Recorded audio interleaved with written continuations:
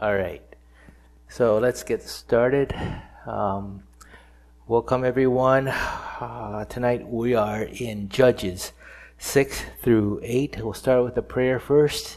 Heavenly Father, thank you, Lord, for tonight that we can come to to the Wednesday Bible study uh, to study your word. May you just just help us to just rest our hearts, rest our minds as we get into your word, Lord. May you just speak to us and may you just bless this time. In Jesus' name, amen. All right. You know, last week we stopped at um, chapter 5, and you remember that was um, uh, the Song of Deborah. And Deborah and Barak, they had um, victory over uh, their enemies. And, and the last part of the last verse of chapter 5 uh, was um, so the land had rest for 40 years, which is good. They had peace. But there, but, uh, but at this time, the Israelites had, you know, they had a, an issue with, with just obeying the Lord.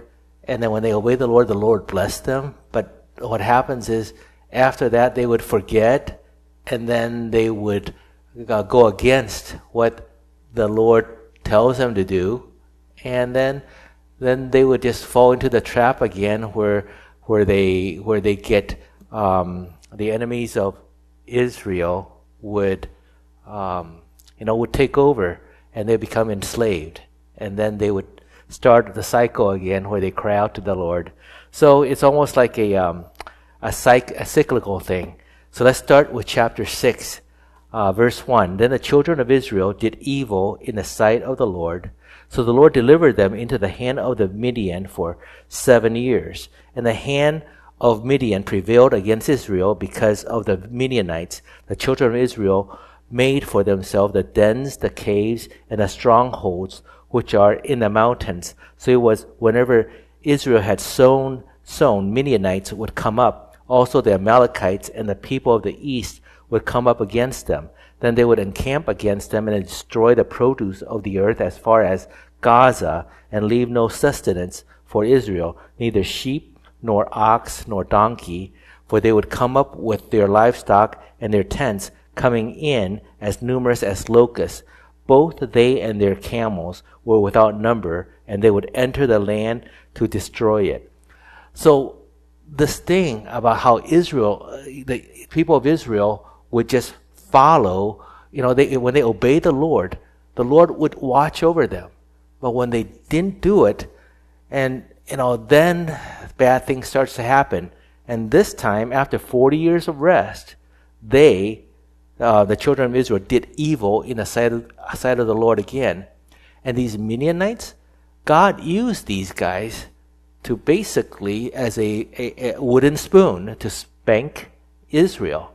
And sometimes the Lord would do that, use different people, different circumstances to get us to start thinking about how do we, you know, what we're doing and how do we get back to Him.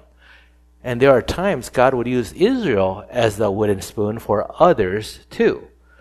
And these Midianites, if you guys um, remember, these guys are are nomads. They would go from place to place. They really didn't build any cities. And the interesting, interesting thing about the Midianites are that they, they were the first one in history to use camels in war. So they knew, they know how to ride camels. They know how to use them as, um, as their quote unquote vehicles for war. And it's pretty fierce because when the enemies of the Midianites would see these guys on top of these camels and they're riding really fast and they're, they're fighting, everybody would be very scared. And actually, the Midianites back then, um, for this army, they had 135,000 men minimum at that time fighting who know who knew how to use bows and, and, and, and arrows and, and all that. And they were like locusts. They're like locusts that covered the earth for um, as far as Israel is concerned. And then also the, the other enemies, Amalekites. These Amalekites were also nomadic. So Israel was fighting these guys. And these guys would come over and take over the produce that the Israelites would, would have sown. They take all their food, they take all their sheep, and, and in the end, the Israelites had nothing. They had no sustenance. So they're crying out to the Lord. Okay. And then verse 6 So the Israel was greatly impoverished because of the Midianites, and the children of Israel cried out to the Lord. And it came to pass, when the children of Israel cried out to the Lord because of the Midianites, that the Lord sent a prophet to the children of Israel, who said to them, Thus says the Lord God of Israel, I brought you up from Egypt and brought you out of the house of bondage, and I delivered, delivered you out of the hand of the Egyptians and out of the hand of all who oppressed you, and drove out, drove them out before you, and gave you their land. Also I said to you, I am the Lord your God. Do not fear the gods of the Amorites in whose land you dwell, but you have not obeyed my voice. You know, God is a very clear, is very merciful God, a loving God, but he's also clear in his message. And his message is, hey, listen to what I say. And, and, and then, know, go well. And, you know, our Lord never tells us that we're going to have, you know, the perfect life here on earth. He never said that, but he said he's going to be with us. He will go with us and He will just uh, live life uh, as He guides us because He has the best plan. But these guys, these guys didn't listen to God. They did, well, they did exactly sometimes the opposite of what the Lord wants them to do. In fact, every time um, when one of the judges dies, they would just go immediately go back into sin. And that's why in this section of Judges, um, there's 13 times they would do this. And God sent a prophet to tell these guys when they're crying out to him, said, Hey, you guys, you guys did not obey my voice. You didn't obey my word. And there are times that we would think that, you know, why, why are, why are the Israelites like this? How come they just didn't learn their lessons? But then you think about us, about you and me. And I think God sometimes would say, uh, John, how come you didn't learn your lesson? And I get that because we're, we're human and sometimes we just fall. And these guys, so I'm not really quick to judge these guys because I see myself doing that also, and I believe you guys do too. Okay, verse 11. Now the angel of the Lord came and sat under the terebinth or the oak tree, which was in Ophrah, which belongs to Joash the Abiezrite, uh, while his son Gideon threshed wheat in the winepress in order to hide it from the Midianites. You know, usually uh, when they thresh wheat, you know, usually it's done on top of the mountain or on top of the hill where they throw this wheat out and the wind would um, just blow the chaff away and the, the grain would just fall back down and they that's how they do it. But this time gideon was um, was doing this. In fact on the it's it's on the bottom of the hill and it's where the wine press is in order to do what? In order to hide to hide it from the midianites so he was hiding because he didn't want to be out in the open where the Midianites would come and get it. Verse 12 And the angel of the Lord appeared to him and said to him, The Lord is with you, you mighty men of valor. You know, we talked about this before. When it says in the Old Testament, whenever they say the angel of the Lord in capital L O R D, is usually um, theologians and a lot of theologians would, would say that this is a Christophany, is, as you know, Jesus is the second person of the Trinity, and that means he existed before the New Testament. And with that said, the angel of the Lord would be the second person of the Trinity. Um, and I'll, I'll tell you, um, there's certain section here that why I also believe this is, um, is Jesus of the Old Testament. Um, it's interesting that the angel of the Lord says, tells Gideon who's hiding says, The Lord is with you, you mighty man of valor. And I think about that. I think about how God sees people, sees you and me in a different light. Sometimes we're hiding. Sometimes we don't feel like, you know, uh, I, I, I really don't know what to do. I, and, and I'm not sure, you know, what I should be doing or who I am. But God sees us as a person that He fearfully and wonderfully made. He knew us while we were in our mother's womb. And He, he loves us. He has a good plan for each one. So He sees Gideon as a mighty man of valor while he's hiding. And sometimes we're wondering, Lord, what's your plan for my, my life? But the Lord sees us in, in a role where He, in His sovereign plan, He sees us in that role already. He, he has a good plan for each one of our lives. But how we respond, how we act, are we willing to listen to His voice? That'll determine what's going to happen. But over all of this, it's in His sovereign plan, and He sees Gideon as a mighty man. But Gideon, this is how he answered. Verse 13 Gideon said to him, O my Lord, if the Lord is with us, why then has all this happened to us? And where are all his miracles which our father told us about, saying, Did not the Lord bring us up from Egypt? But now the Lord has forsaken us and delivered us into the hands of the Midianites. Good question. I mean, Gideon said, Well, if God's with us, why are we suffering under the Midianites? And and where are all the miracles that, you know, our our forefathers, you know, you know, our fathers before oh, told us about all the miracles that, that God did for them. What happened to that? And why am I hiding here, scared to death, um, and, and, and, and threshing wheat in the wine press? Good questions, right?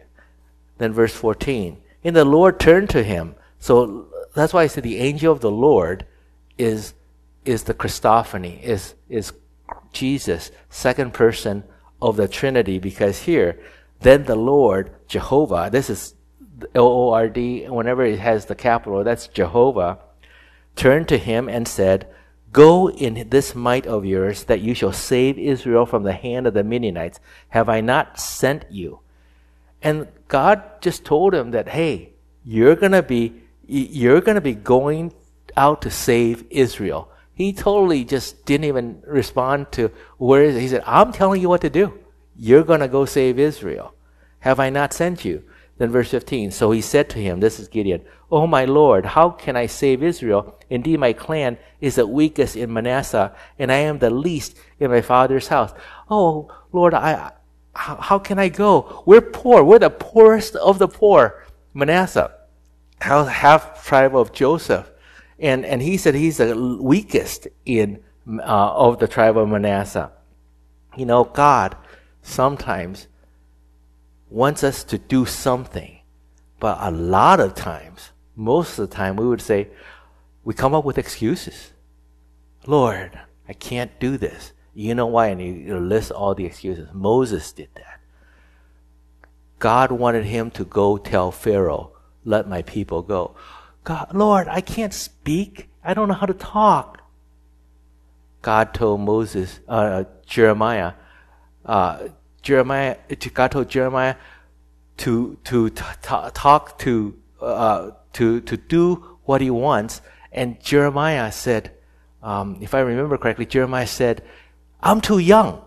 And sometimes I think about this. I think about, Lord, are there times that I give excuses to you when you want me to do something?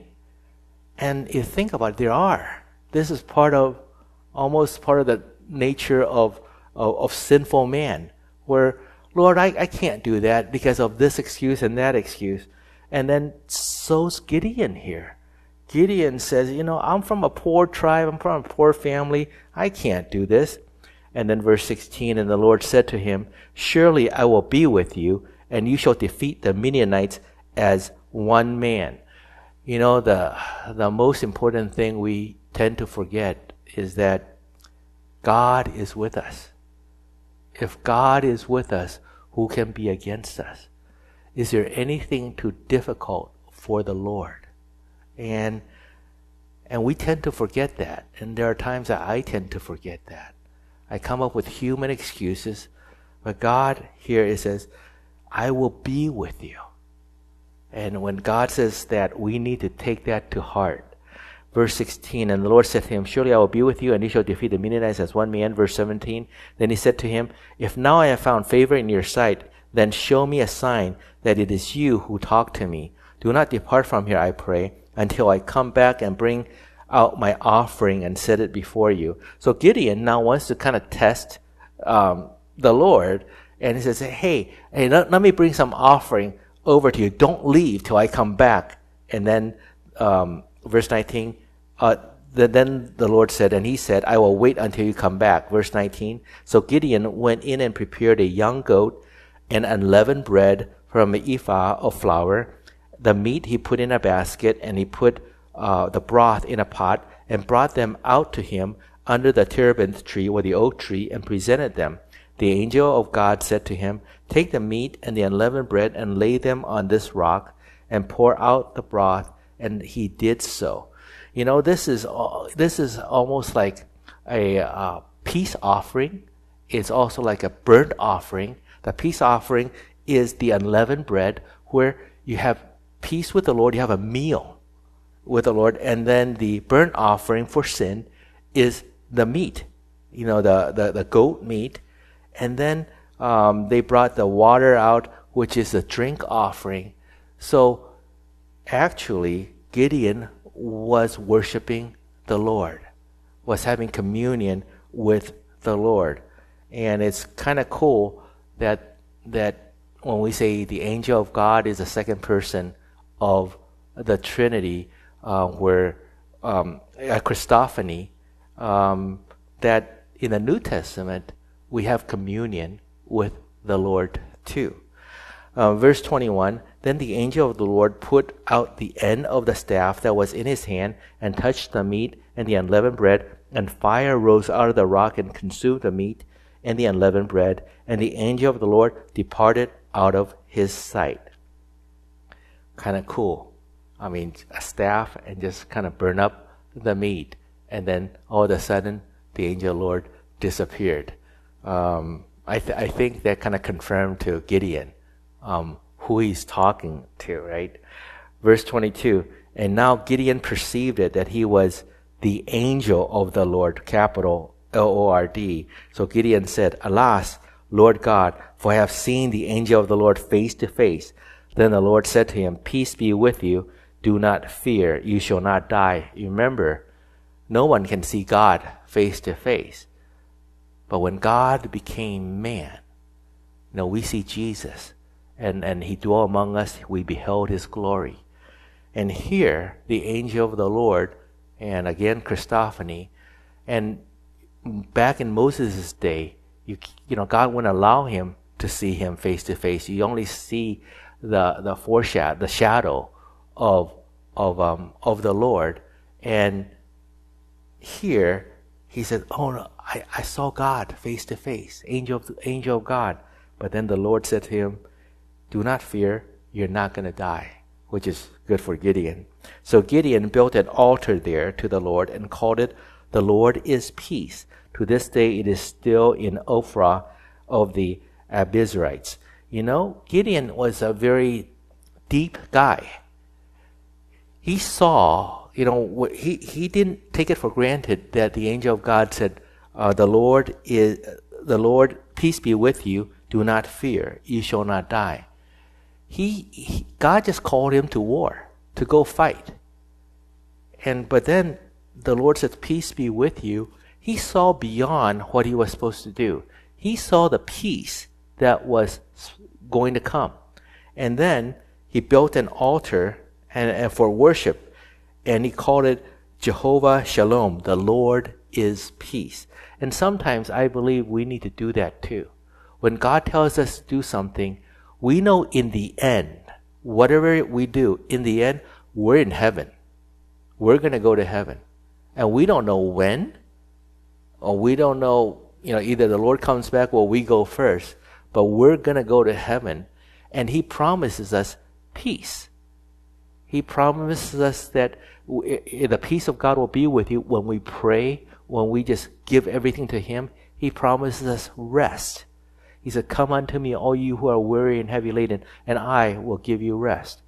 You know, God is a God of peace. God is a God of rest. He wants each one of us to do that. But sometimes we just look at all the things that's ahead of us, in front of us, but we don't think about or meditate upon that God wants us to have that peace, it, even though everything else is a storm. And His peace surpasses all human understanding. So that's why uh, I think, even for here, Gideon was looking beyond the war because he built an altar and called it the Lord is peace. And we have a God, we have a Jesus who is our peace. So, whatever you guys are going through tonight, you need to think that God wants to give you peace. God wants to give you rest. We can rest in Him. We can, we can cast all our burdens upon Him. And He will give you rest. He will give you peace. Verse 25.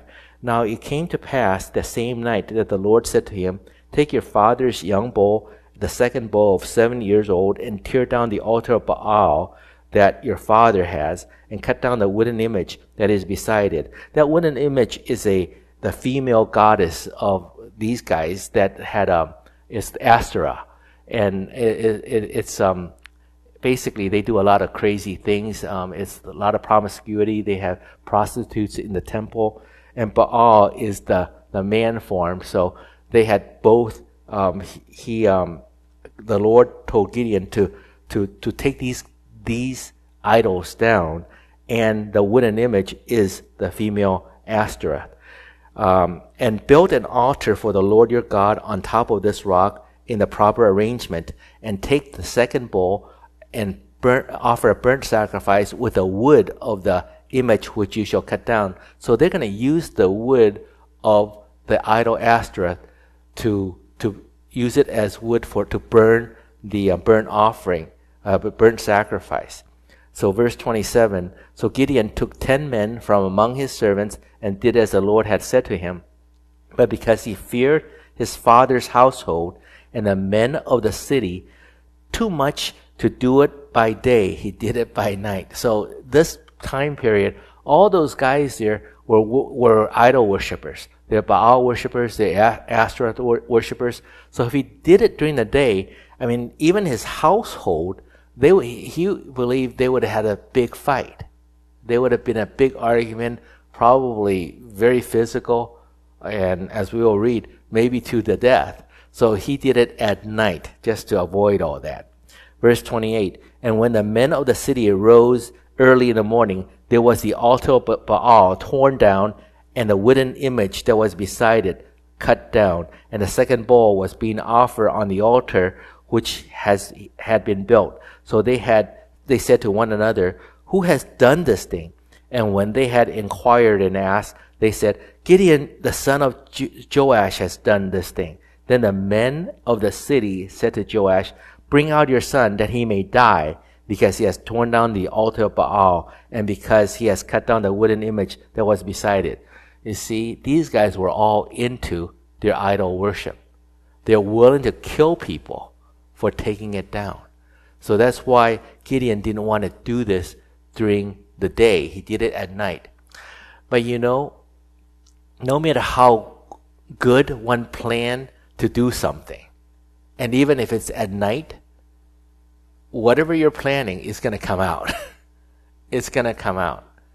And these guys asked, who did it? And, you know, it was Gideon and 10 other guys, but it came out. So and even the, these guys did it for the Lord. But most times, when, when a lot of things happen at night, it's not for good things, right? And so, a good lesson here is if you think you're, you're hiding, you're going to hide something, um, here to tell you this, but it's going to come out. Okay. Verse 31. Um, but Joash said to all who stood against him, Would you plead for Baal? Would you save him? Let the one who would plead for him be put to death by morning. If he is God, let him plead for himself because his altar has been torn down. Therefore, on that day he called him Jerubbaal. Uh, that's Gideon's new name, saying, Let Baal plead against him because he has torn down his altar. So Joash apparently changed his mind about worshiping Baal because you know, he, said earlier that he was a worshiper, but now he's defending his son. He's saying that, well, if Baal is a god, why does he need you to defend him? You know, let him defend himself. And the truth is, Baal can't. I mean, he's just an idol. Asherus can't. But there are times that you and I think that we have to defend our God. We don't our God, the living God, the living God who created the heavens and the earth, the one true God, He knows how to defend Himself. We don't need to defend Him. We just need to obey, uh, be in His Word.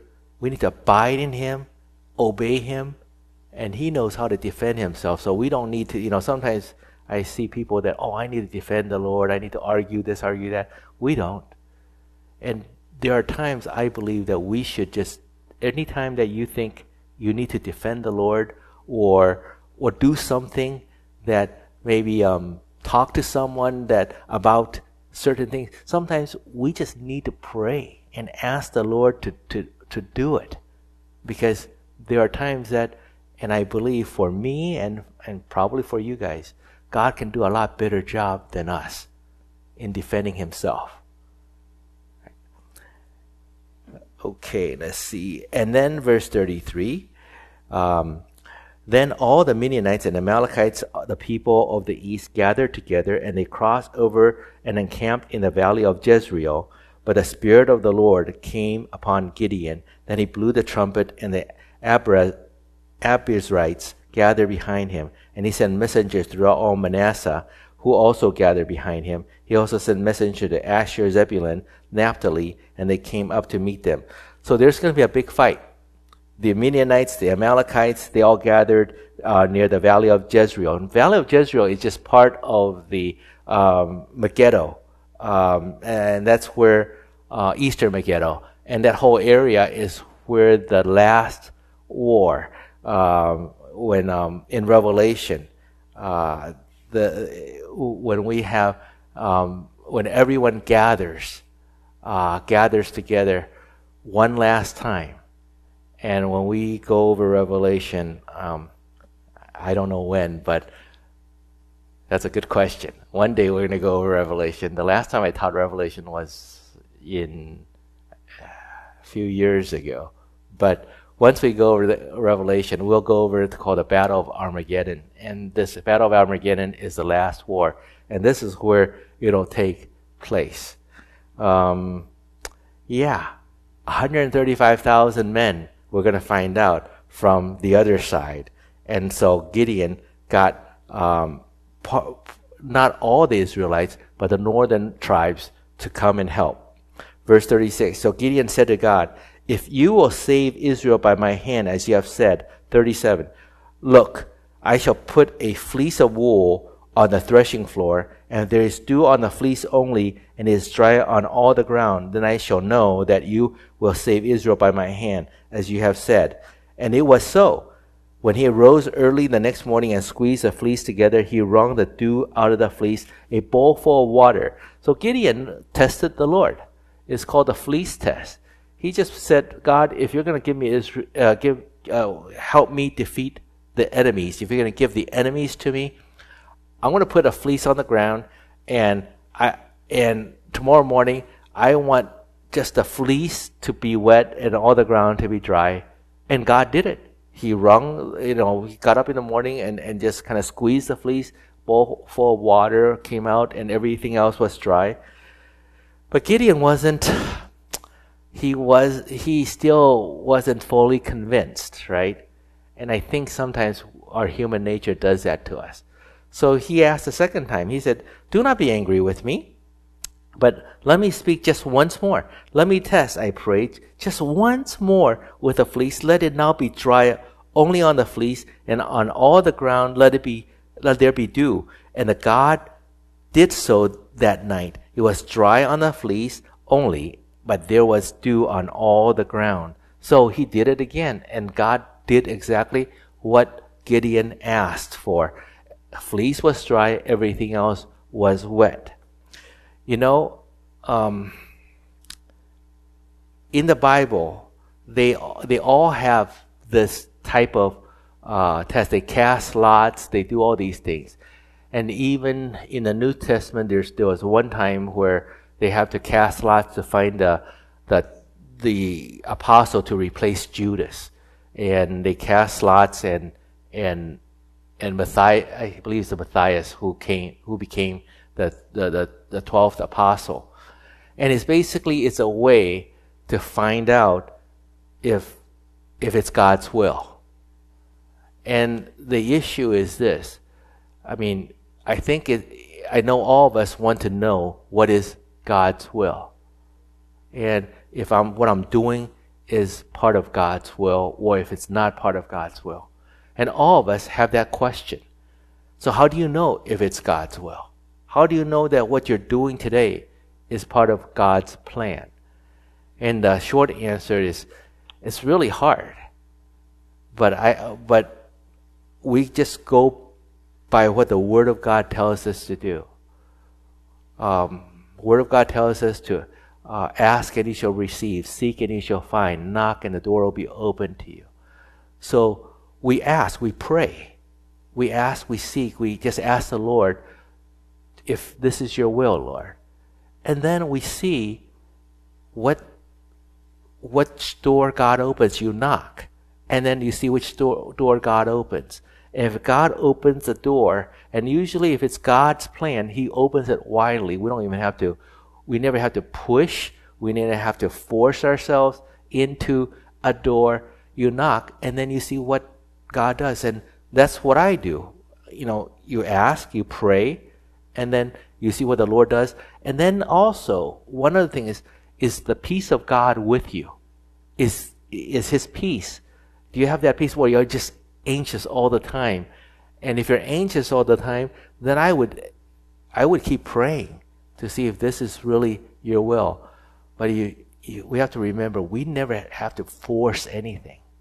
And sometimes we kind of think that, you know, this is, I really want this, I really want this. And we kind of make it into, Lord, this is my will, but I want to say, this is, I want to make sure we do this, Lord. Will you help me? But it's really hit your own will. And in business, what I call this is you fell in love with your own program you fell in love with something that you really want to do, but maybe it isn't God's will. And but you just fell in love with it and you just want to force it through. I know a lot of churches do that. They have certain things that certain people want to do and they want to force it through, kind of ram it through. And they keep doing it, keep doing it, but then it doesn't I mean, never does anything. It doesn't grow and people are really anxious about it there are times that God wants to let something die. There are times. But we keep trying to do it on our own human will.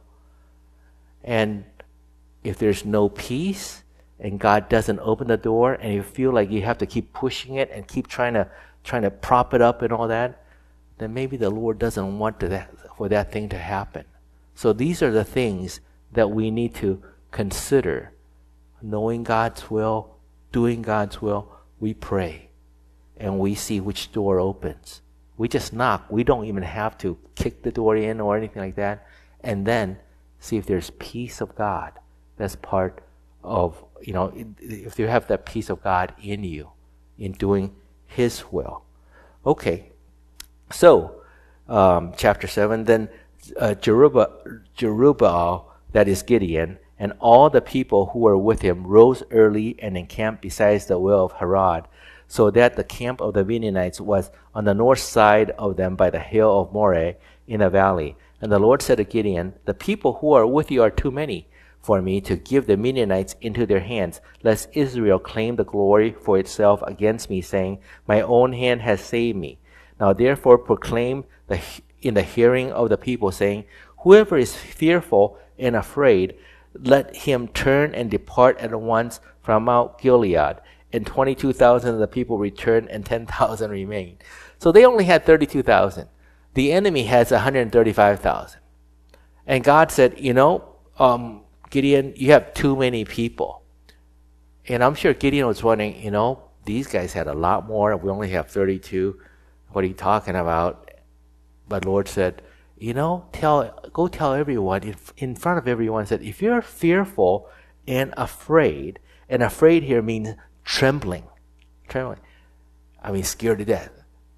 Tell these guys they can go home. And Gideon, I'm just picturing Gideon, and he's listening to all this. He said, I'm sure he's going like, hmm? And then, what? 22,000 people went home. And there only 10,000 left. And Gideon's saying, Lord, what am, what am I going to do now? 10,000 against 135,000, 13.5 times more than what you got. But you know, God is amazing. Because if it's if people are afraid and fearful, they're trembling, you really don't want them fighting with you. Because when you when you get in the midst of the battle, and it's almost like even when you're working, when you're doing something really, really hard, when difficult time comes, you know who's with you and who's not with you. You know who's gonna be working and fighting. But a lot of these people who are trembling and afraid, they're gonna run. They're gonna turn around and not gonna fight and that's going to influence everybody else. And so these guys going home is okay. So Gideon's got 10,000 left. But then verse 4 the Lord said to Gideon, The people are still too many. Huh? Bring them down to the water, and I will test them uh, for you there. Gideon's going, Well, you don't have to test them, but uh, that's what I'm thinking. Then it will be that of whom I say to you, This one shall go with you, the same shall go with you, and whom I say to you, this one shall not go with you, the same shall not go. Verse 5 So he brought the people down to the water, and the Lord said to Gideon, Everyone who laps from the water with his tongue, as a dog laps, you shall set apart by himself. Likewise, everyone who gets down on his knees to drink, and the number of those who lap, putting their hands to their mouth, was 300 men. But all the rest of the people got down on their knees and drink water. Then the Lord said to Gideon, By the 300 men who lapped, I will save you and deliver the Midianites into your hand. Let all the other people go, every man to his own place. Think about this. God told Gideon, said, You still have too many. Because I don't want you guys to say that it's us, people, man, I did it, I saved Israel. God never shares his glory. And that's one thing about God we need to know. Anything that we do, any success that we have, I mean, think about it. He has His own breath. He holds our very breath in His own hand. Our lives are in His, uh, are in His hand. Any success that we have, we need to immediately give glory to the Lord. And so He took them down to 300. How did He do that? Anybody who gets down on their knees and just put their face in the water, you know, and you're not, you don't even care about what's around you, lapping like a dog, and just kind of, you know, you're you're down there and you're, it's no good. He said, let them go home. 9,700 of them. Only 300 took it up and drink like this, and then you know, and it's it's you're holding the cup, uh, cup the water but you're still very aware of your surroundings. And he said, Those are the guys that I want. And I want, and he made it so, the number so low that there's no way man can claim the glory. And it makes, um, it makes a lot of sense, but I'm sure Gideon was going, oh, oh boy, 300 against 135,000 men. Okay, Next, verse 8. So the people took provisions and their trumpets in their hands, and he sent away all the rest of Israel, every man to his tent, uh, and retained those 300 men. Now the camp of Midian was below him in the valley. It happened on the same night that the Lord said to him, Arise, go down against the camp, for I have delivered it into your hand. But if you are afraid to go down, go down to the camp with Purah, your servant, and you shall hear what they say, and afterward your hand shall be strengthened to go down against the camp. And he went to with Purah his servant to the outpost of the armed men who were in the camp. Verse 12. Now the Midianites and the Amal- Amalekites, all the people of the east, were lying in the valley as numerous as locusts. Remember, there's 100,000, 135,000 of them. And the camels, and they were good with camels, were without number. I mean, that's a lot. As the sand by the seashore in multitude. I mean, that must have been a scary sight to see that the enemies were like the sand on the seashore. I mean, the people, the, um, the camels, like locusts. God is a very merciful and graceful God. You know, He gives us grace. Gideon was his man, and he told Gideon to fight, and Gideon did pretty much everything that God told him to do. But then he also know Gideon is human. He said, you know, if you're still a little afraid, if you're still afraid, why don't you do this? Go down, take your servant with you, and go down to the to where the enemies are, and you're going to be strengthened by what you hear. I mean, what a wonderful God we have. He didn't have to do that. But he tells, and good thing about Gideon is, you know, even though he's afraid, and he did go, he said, if you're afraid, he went. So he was afraid. But he listened to the Lord, and he went, and this is what happened. Verse 13, and when Gideon had come, there was a man telling a dream to his companion. So he's eavesdropping on the enemy. He said, I have had a dream. To my surprise, a loaf of barley bread tumbled into the camp of the Midian, and they came to a tent and struck it so that it fell and overturned, and the tent collapsed. Then his companion answered and said, This is nothing else but the sword of Gideon, the son of Joash, a man of Israel. Into his hand God has delivered Midian and the whole camp. And verse 15, and so it was when Gideon heard the telling of the dream and its interpretation that he worshipped. He returned to the camp of Israel and said, Arise, for the Lord has delivered the camp of Midian into your hand. Can you imagine that? God is so amazing. He told Gideon, said, You know, if you're still afraid, why don't you go down there with your with your servant Purah and then listen to these guys? And so he eavesdropped. He heard his name. He heard a dream and he heard the, heard the interpretation. And his name was part of the interpretation that God was going, that the Midianites were going to be destroyed by Gideon himself and, and, and his, his, his whole, whole army of little army. I, I mean, that's only 300 people. But he heard his name. I mean, that's that only God can do that, right? And then, um, so Gideon went back and was strengthened. Verse 16. Then he divided, divided the 300 men into three companies, and he put a trumpet into every man's hand, and em- with empty pitchers and torches inside the pitchers. Verse 17. And he said to them, Look at me and do likewise. Watch, and when I come by to the edge of the camp, ye shall do as I do. When I blow the trumpet, I shall, I and all who are with me, then you also blow the trumpets on every side of the whole camp and say, the sword of the Lord and of Gideon. So Gideon and the hundred men who were with him came to the outpost of the camp at the beginning of the middle watch. Middle watch, it starts at midnight. And they went there, and the middle whole middle watch is midnight to 3 a.m. But this is the beginning of the middle watch, so it's just a little past midnight, and everybody was prob- probably in bed. Um, just as they had posted the watch, and they blew they blew the trumpets and broke the pitchers that were in their hands.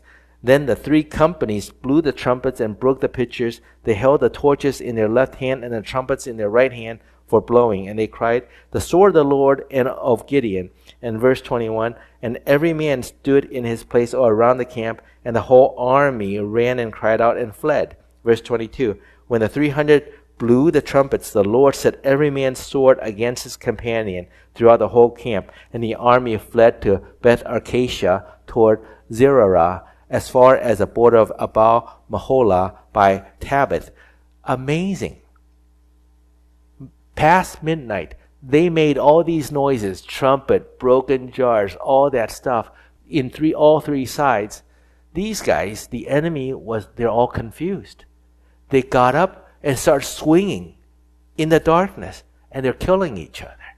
They're running and they can see a thing and they're just swinging. God confused them. Verse 22 And the men of Israel gathered together from Naphtali, Asher, and all Manasseh and pursued the Midianites. Verse 24 Then Gideon sent messengers throughout all the mountains of Ephraim, saying, Come down against the Midianites and seize from them the watering places as far as Beth Barah and the Jordan. Then all the men of Ephraim gathered together and seized the watering places as far as Beth Barah and the Jordan. And they captured two princes of the Midianites, Oreb and Zeb. They killed Oreb at, at the rock of Oreb, and Zeb they killed at the winepress of Zeb. They pursued Midian and brought the heads of Oreb and Zeb to Gideon and on the other side of the Jordan. Wow. Gideon, you know, defeated these guys. He was pursuing them, and then he asked the, the, the other tribes, Ephraim, um, in the mountain regions, and tell them to, hey, come on down and help us out too.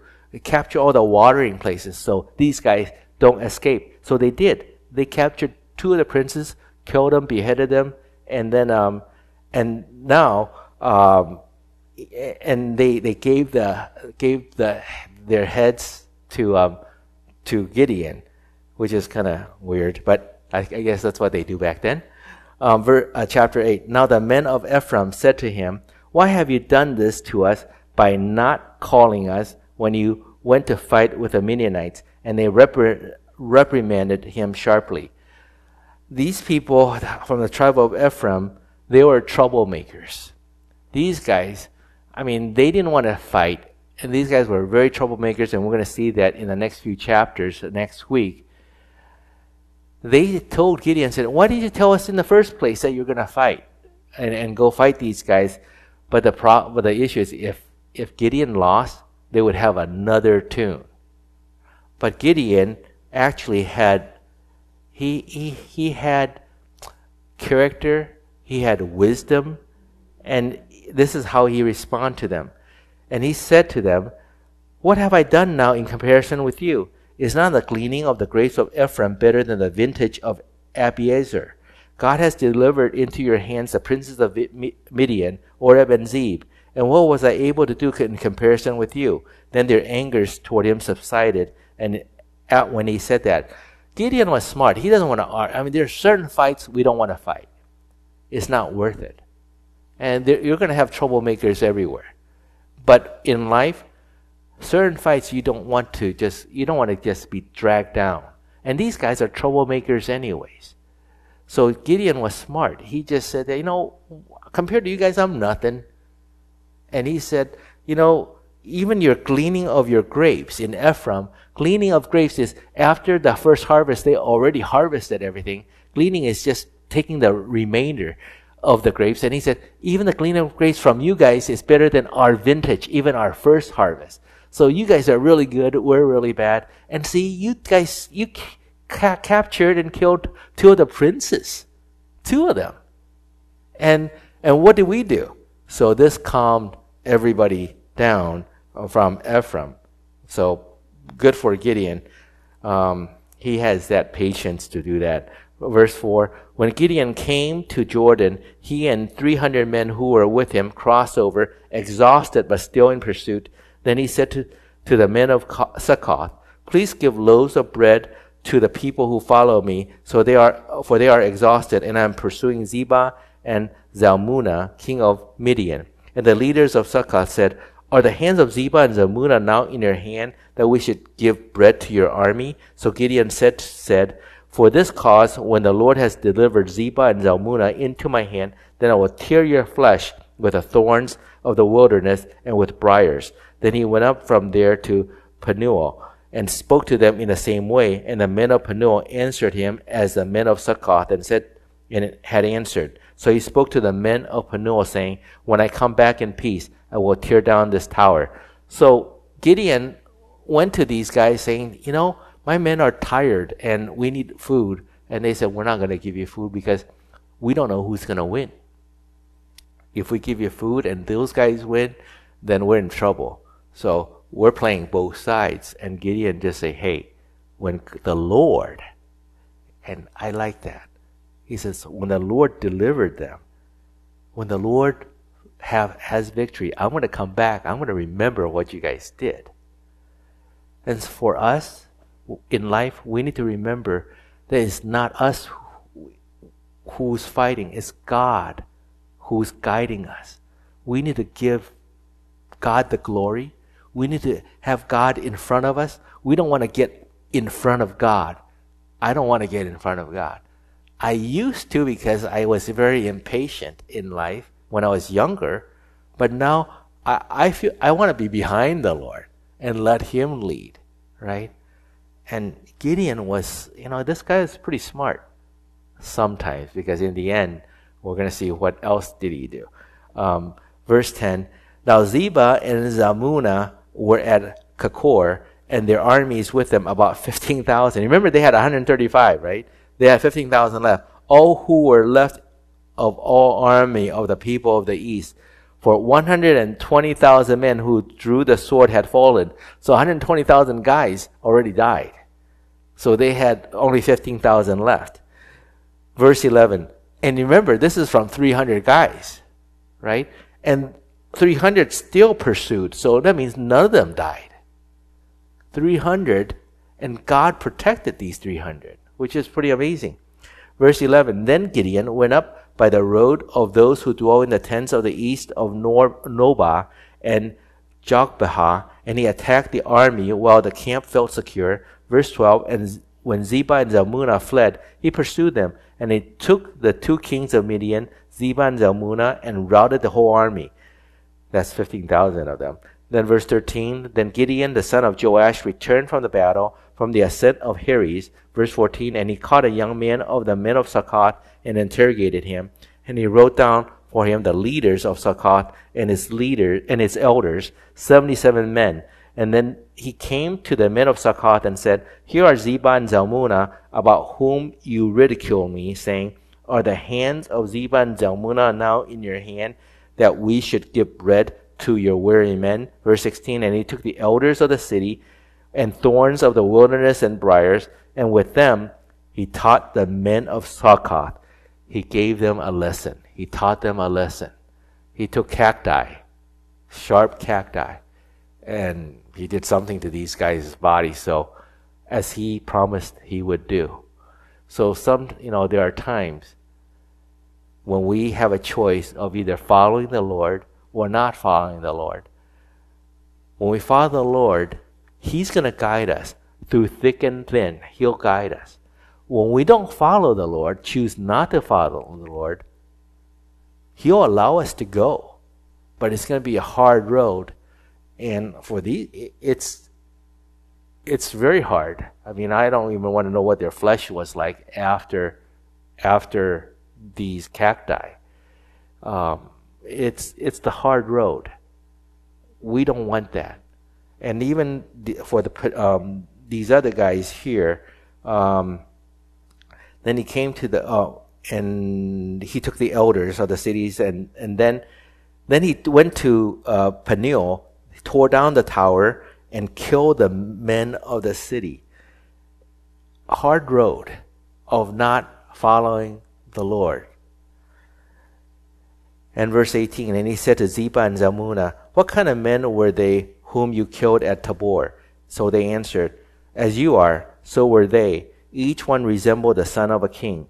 Then he said, They were my brothers, the sons of my mother. As the Lord lives, if he had let them live, I would not kill you. And he said to Jether, his firstborn, Rise and kill them. But the youth would not draw his sword, for he was afraid, because he was still a young youth.